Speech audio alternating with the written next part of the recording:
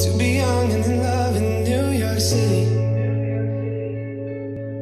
Not know who I am, but still know that I'm good long as you're here with me.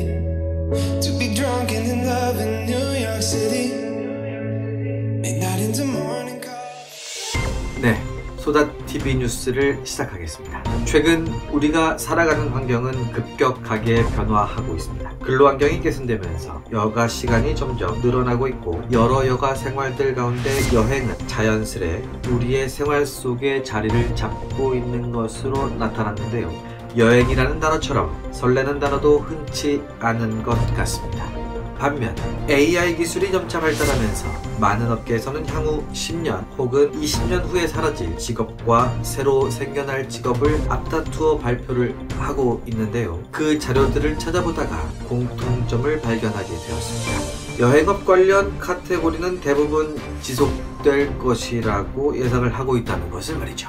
여행업의 진입 장벽이 낮은 것은 분명합니다만 여느 사업과 마찬가지로 노하우나 경력이 없이 달려들기에는 리스크가 큰 사업임에는 틀림없는 것으로 나타났습니다.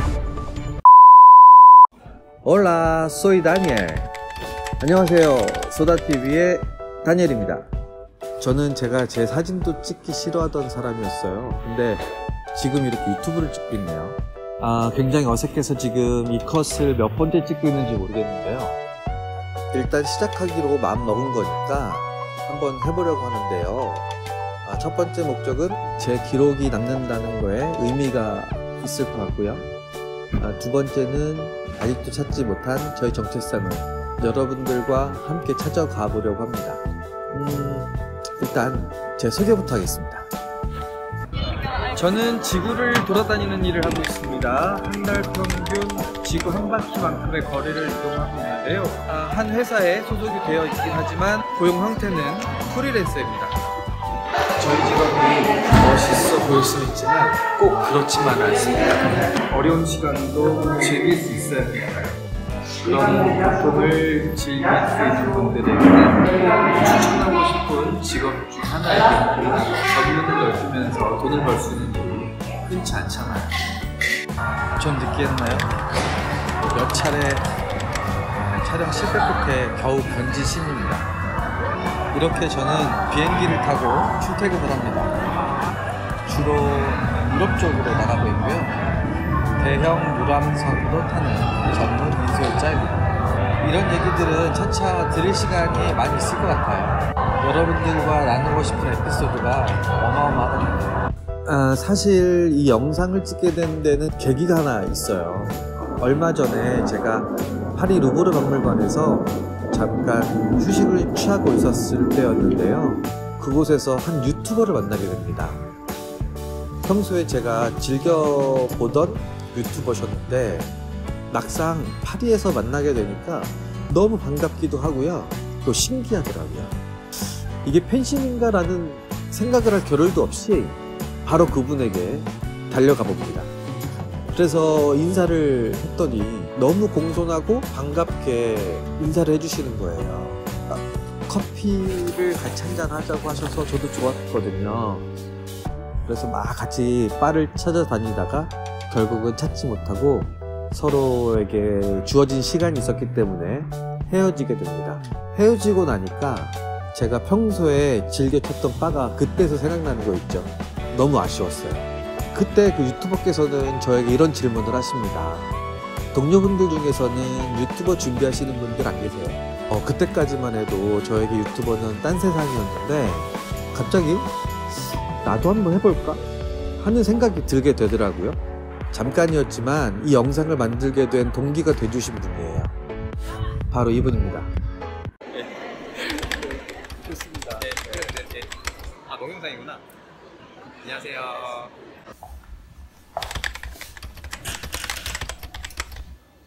실은 제 동료가 박 작가님 빅팬이거든요. 그 동료 덕분에 박 작가님을 알게 된 것인데 막상 박 작가님을 만나고 나니까 그 친구 얘기를 해주지 못한 것이 나중에 후회가 되더라고요. 그래서 여기서 박 작가님에게 공식적으로 제안 하나 드리도록 하겠습니다. 혹시 나중에 시간이 되신다면 제 동료 인솔자와 함께 차 한잔 해주시면 어떨까요? 잘했어 해리마. 지금은 제가 이 업계 종사한 지 9년 정도 됐어요. 5년 정도 여행사를 운영하다가 문을 닫고 난 다음부터 인솔 업무를 시작하게 되죠. 여행을 가고자 하는 손님들을 어, 모으기부터 시작을 해서 고객 관리까지 할 그 당시에는 굉장히 머리가 아팠는데 지금은 회사에서 모든 거를 다 정진을 해주고 저는 손님들만 안전하게 모시고 다녀오면 되는 거라서 머리가 그때만큼 복잡하지는 않네요. 음, 현재 제 직업에 만족하고 있긴 하지만 한번 사업을 했던 터라 또 언제 일을 저지를지는 모르겠습니다. 아, 저는 사업을 준비하기 위해 아, 영업사원 생활도 해봤습니다. 모 브랜드 신차 딜러로서 필드에서 영업을 배우고요. 아, 입사 6개월 만에 판매왕이라는 타이틀도 경험하게 됩니다. 그 자신감으로 3년 만에 여행 사업을 바로 시작하게 되고요. 맨 땅에 헤딩을 하는 식으로 사업을 시작을 했기 때문에 힘든 점도 많았습니다.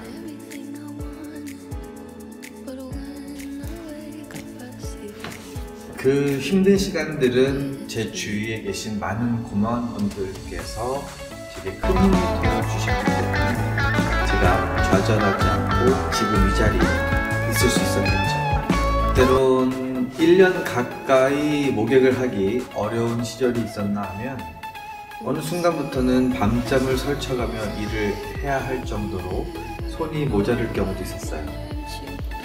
그러면서 나름의 노하우를 쌓아왔던 것 같아요. 지금도 또 다른 노하우를 쌓아가고 있다고 생각합니다. 음, 그렇다면 이 영상은 어떤 분들이 보시면 좋을까요? 제 생각에는 바로 이런 분들이 보시면 좋을 것 같습니다.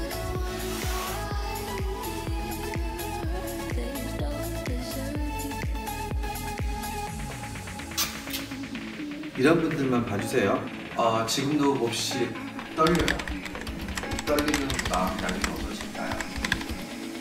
원치는 않지만 이 악플들이 달리는 경우도 있겠죠. 악플이 달린다면 정의롭게 피해갈 겁니다. 음, 어떤 결과가 나올지 기대해주세요. 아차. 어떤 결과물이 나올지 기대해 주시고요. 여러분들의 으아! 구독과 좋아요는 저와 크리에이터들에게 큰 힘이 됩니다.